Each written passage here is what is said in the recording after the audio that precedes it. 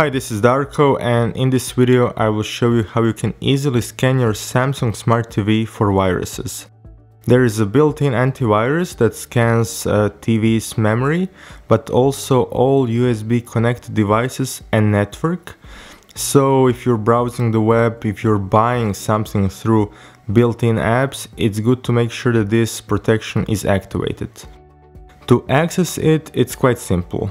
Press menu on your remote control go to System and here find Smart Security.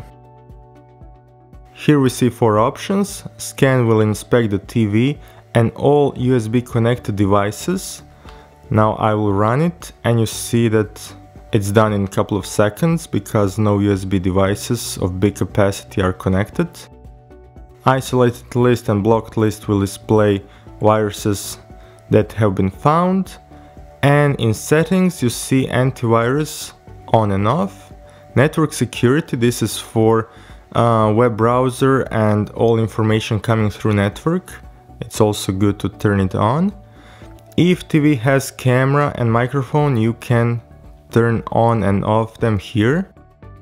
Auto scan will check the TV every time it is turned on and auto isolate will isolate viruses automatically upon their detection. You can read more about smart security if you press e-manual button on TV's remote. And here go to system and support and select protecting the TV from hacking and malicious code. You have here detailed explanation about each setting.